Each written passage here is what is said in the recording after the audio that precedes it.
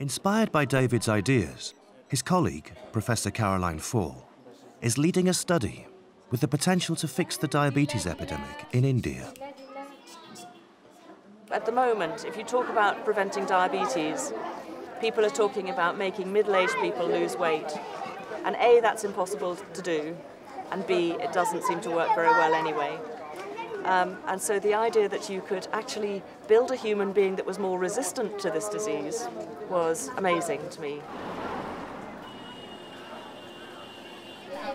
Caroline's plan to halt the diabetes epidemic doesn't rely on high-tech labs or fancy science.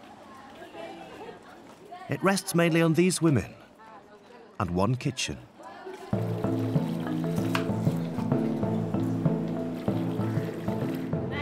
These recipes contain all the crucial building blocks needed to build a body resistant to disease. Folic acid, calcium, iron, vitamin A. The calcium will be important for bone growth. The green leafy vegetables contain small quantities of essential fatty acids, which are important for brain growth. All of those nutrients are important in different tissues of the body.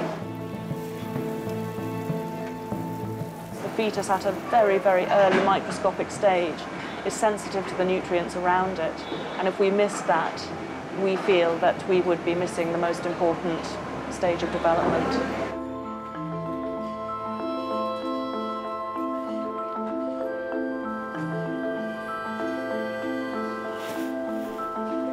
Every day, over 1,500 snacks are made in this kitchen. They are taken to about 50 clinics in the slums across the city.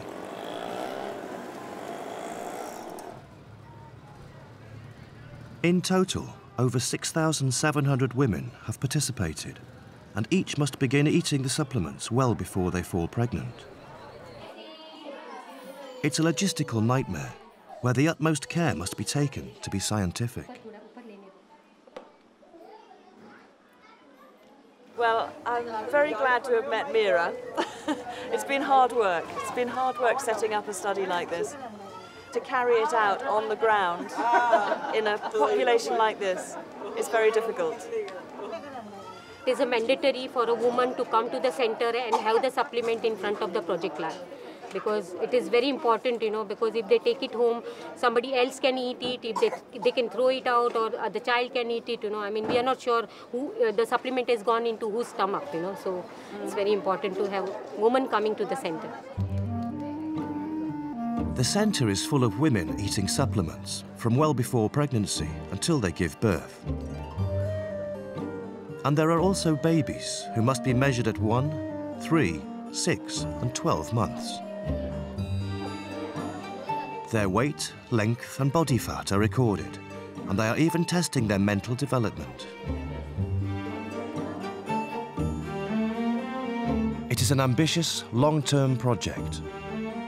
Seven, seven and a half, years. years. How many more? Uh, forever, I think. so nice.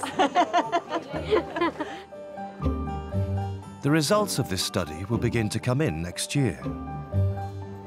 We're providing better nutrition into the mother, but the mother herself has had a poor early development, which may affect the quality of her eggs. It certainly affects the size of her uterus and the quality of the blood supply to the uterus. So she is still constraining the development and growth of that fetus.